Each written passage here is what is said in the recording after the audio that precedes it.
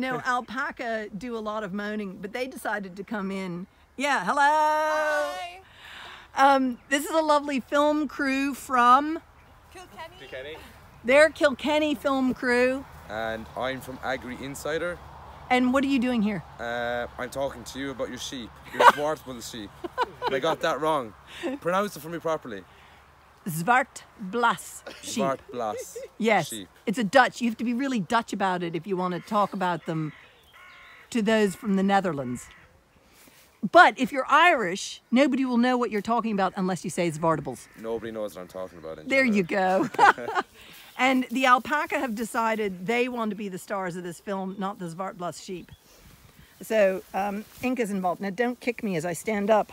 Oh, there we go. Yeah, I think they need a job in Bee Media. Yeah. Now, look, see, the sheep have all gone walking over there. Yeah.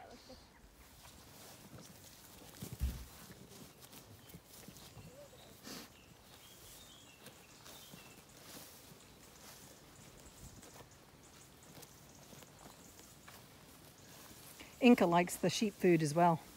My dogs and even my cats like the sheep food.